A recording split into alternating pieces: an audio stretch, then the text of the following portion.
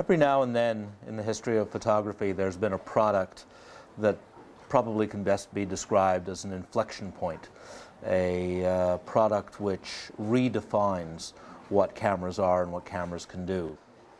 The Canon D30 is, I believe, a camera that will play a significant role in the changes that are taking place in still photography. And the reason for this is not so much the uh, price point, although that's very exciting at under $3,000 US retail, which makes the camera much more affordable than the 20 and $30,000 uh, Kodak digital SLRs that pros have been using for a couple of years. But I think the most important thing, and the thing that will help define it as one of the so-called inflection points in the history of photography, is the image quality.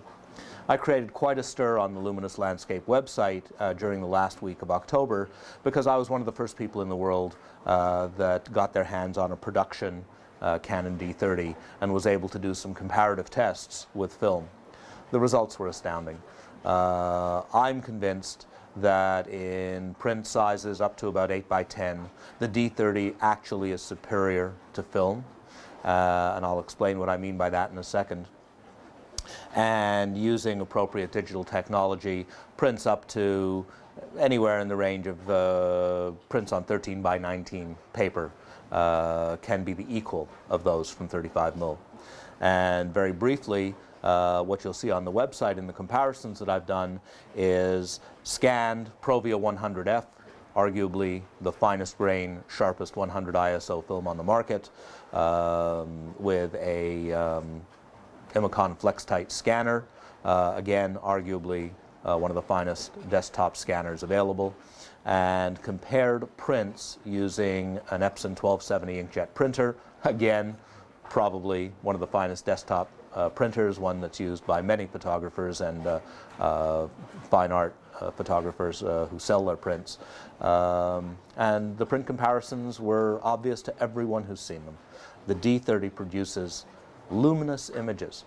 And we'll be looking at some of those uh, in a little while because there is something different about digital.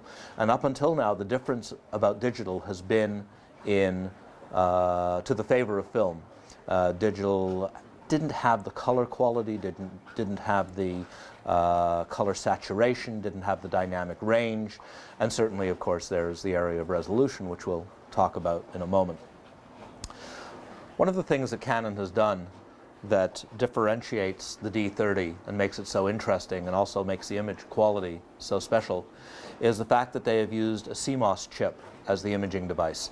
CMOS stands for complementary metal oxide semiconductor and all of the digital SLRs up until now and all digital cameras for that matter use CCD chips uh, CMOS chips are less expensive to manufacture apparently, but more importantly, they're low voltage devices, which means that the imaging chip does not attract uh, static electricity the way that CCDs do.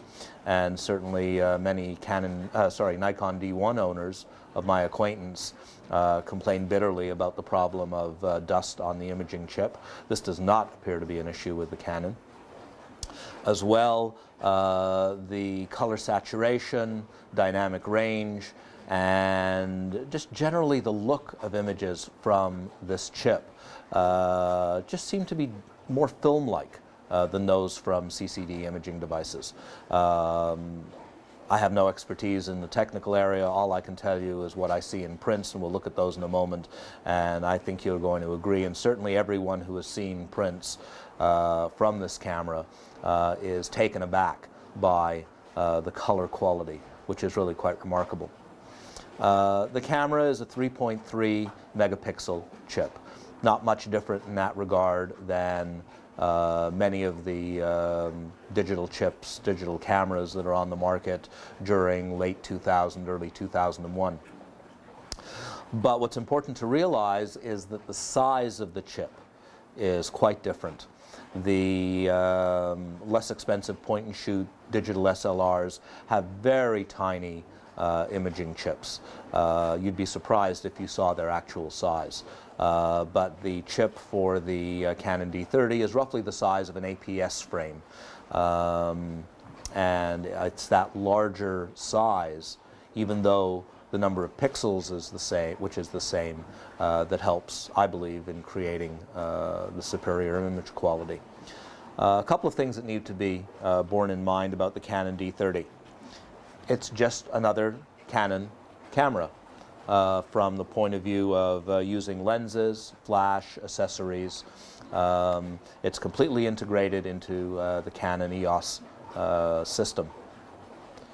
What makes the camera different from any of the other EOS SLRs is the back.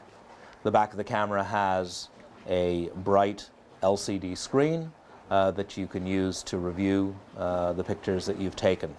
Again, it needs to be borne in mind this is an SLR. It's a single lens reflex. You take photographs not by looking at the LCD. It isn't a live chip.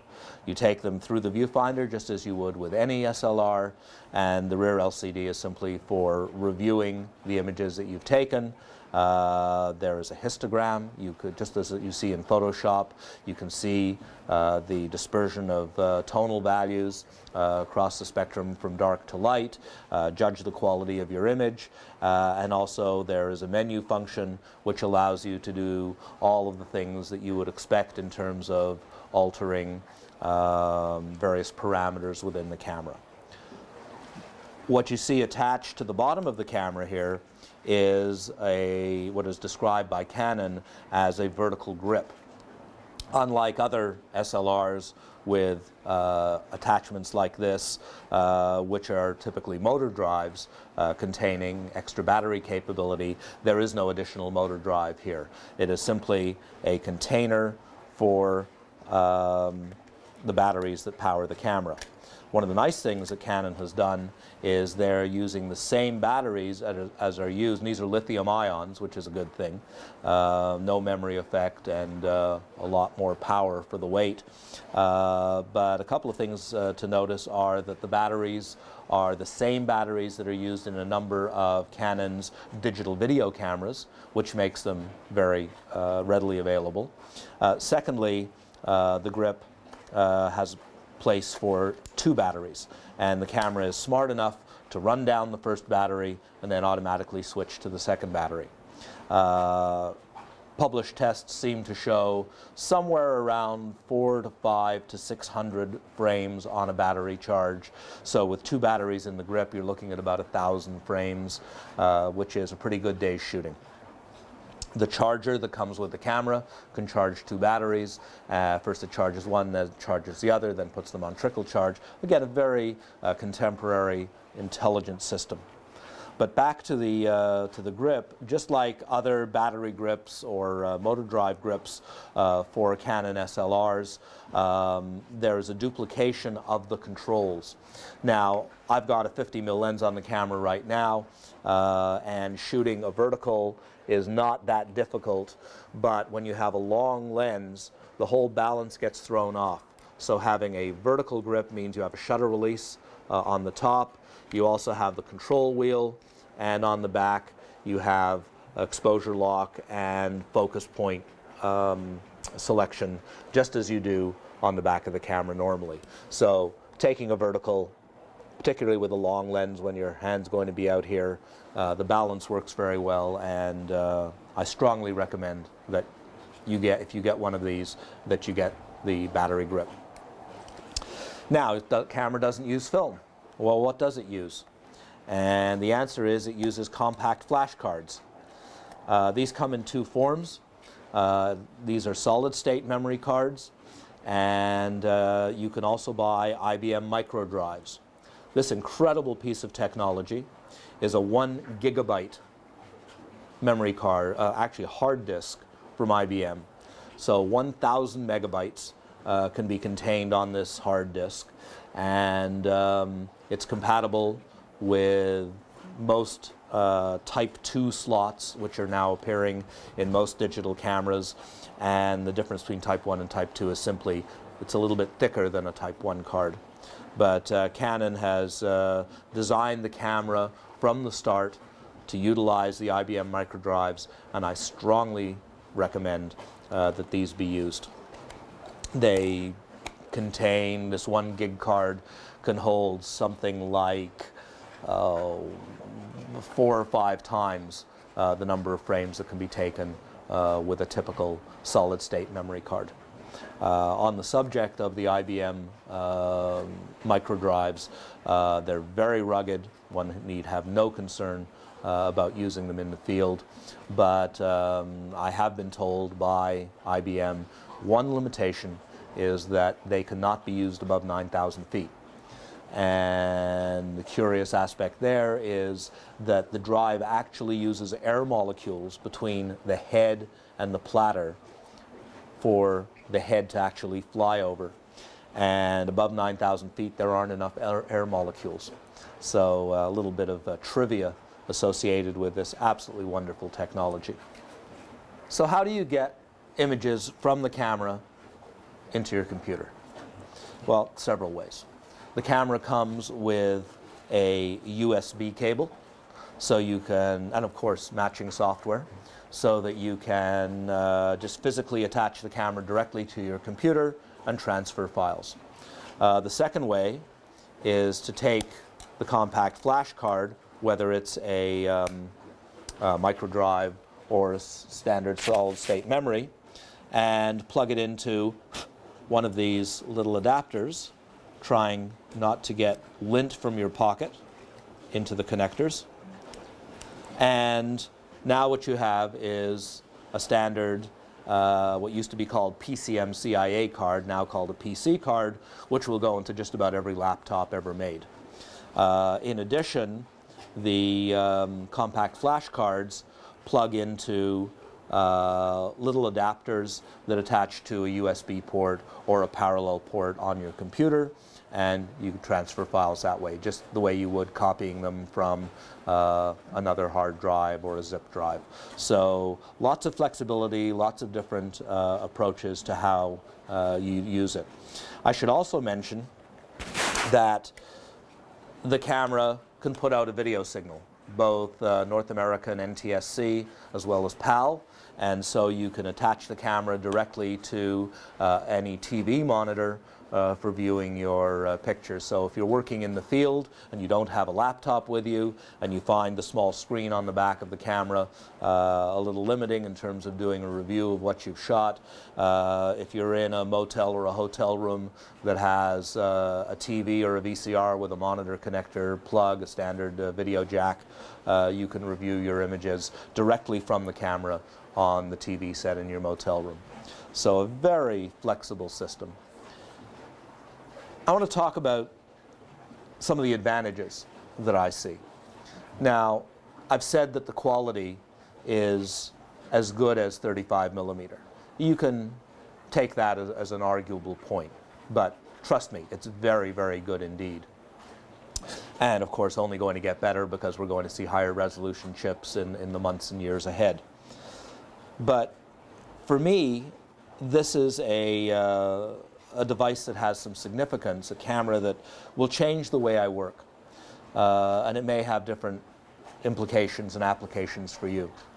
Uh, I, am here at my uh, place in the country in northern Ontario, and I spend a good part of the year here, most of the summer. Uh, the nearest E6 film lab is about 100 miles away. So when I'm up here sometimes for three, four, five weeks at a time without getting back to the city, uh, I do a lot of shooting. I go out on the lake, I go in my boat, I go for hikes in the woods, uh, I shoot wildlife, I shoot landscapes, and I don't see what I'm shooting. Uh, typically, when I go on a field shoot, um, I'm gone for three, four, five days. I'm back. I'm able to review what I have. The beauty for me is I can now work here in the country, take my frames when I come back from my shooting, put them in my laptop, have them up on the screen, print them out on my relatively inexpensive Epson 870 printer, and that, in fact, is what I did this morning. Just before filming this segment, I took a walk, and I took this photograph, and I now know what I have. Not only can I review the image quality on the LCD on the back of the camera, I can review it on my laptop, I can review it on this print. And this print is just about as good as the prints I can make back on my main desktop system back in the city. At the point that we're uh, taping this, I've had the camera for about two weeks. And I'm going to show you some of the prints that I've done, some of the images that I've shot uh, during that brief period of time. But uh, coming up uh, just within a couple of weeks, uh, I'm going on a major shoot to uh, central and northern Arizona, uh, including Canyon de Chelly, the Bisti Badlands, hopefully the um, Antelope Canyon, Lower Antelope Canyon, and a few other locations. And I am now confident enough in the quality that I'm getting from uh, the Canon D30 that this is going to be the primary camera that I take on the trip. So that's quite a vote of confidence. And uh, in a few minutes you'll uh, see some of the uh, results uh, from that shoot and in fact you'll see us on that shoot. Let me show you some of the photographs that I've taken in the last couple of weeks since I first got the Canon D30. Well, this is a photograph taken here at my place in the country in northern Ontario, and it's of a woodpecker just on a tree above my house. Um, if you look closely, uh, what you'll see is you can count the feathers on the bird. This was taken with the, the Canon uh, 100 to 400 IS zoom. It was handheld at 180th of a second, and I was zoomed out to 400. Now, the imaging chip on the D30 is about the size of an APS frame. It isn't the full size of a 35 millimeter frame. So what that means is the focal lengths that you're using have to be multiplied by 1.6. So for example, this shot was taken at 400 millimeter on the lens. But because of the smaller image size of the chip compared to a 35 millimeter frame, in fact, I was shooting at the equivalent of 640 mil. So this to me is just a testament to uh, the quality of the imaging chip in the camera as well as something I've mentioned for uh, on a number of occasions and that is that wonderful image stabilization technology that Canon has. What I want you to notice in particular is the luminance of the out of focus background. This is something that there's a smoothness and a lack of texture. Uh, obviously, it's a lack of grain uh, because there is no grain in digital. And um, it just adds something that I've rarely seen in a film image.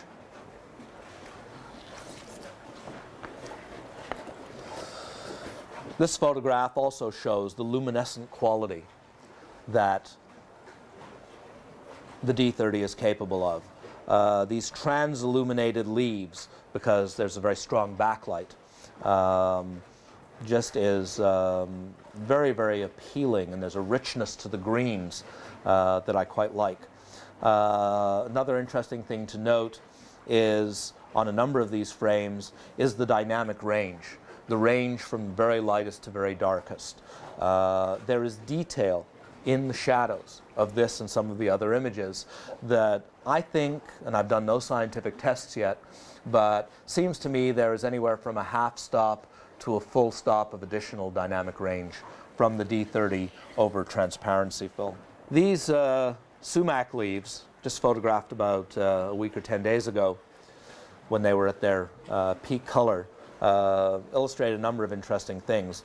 The color saturation is really quite special.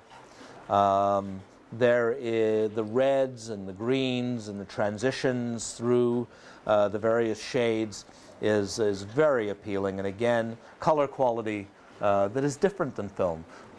I believe it's better than film, but certainly different and certainly very appealing. Um, if you were to look very closely at this print, you would see the most amazing fine detail, even sort of the, the, the fine, and I don't know what the technical term is, the fuzz on uh, the stalks is, uh, is visible. Now, how do you get this to a print this size from an imaging chip that's 3.3 megapixels that's about the size of an APS frame? And the answer is that uh, a print like this needs a minimum of 240 dpi and these images are 6 by 9 at that size. So to make a print that's bigger than 6 by 9, you have to do what's called resing it up, which is increasing the resolution. The most um, effective way of doing this is to use a program called Genuine Fractals Pro, and you'll see a full review of that product on the site. And what that product does is it effectively uh, allows you to make much bigger images uh, without uh, losing quality. It can't create information that isn't there, but what it does is it extrapolates the information uh, without degrading uh, the image quality, uh, which is what would effectively happen if you were to use, for example, uh, the uh, bicubic interpolation uh, that Photoshop uses when you increase the size of, of, an image from its original um, pixel density.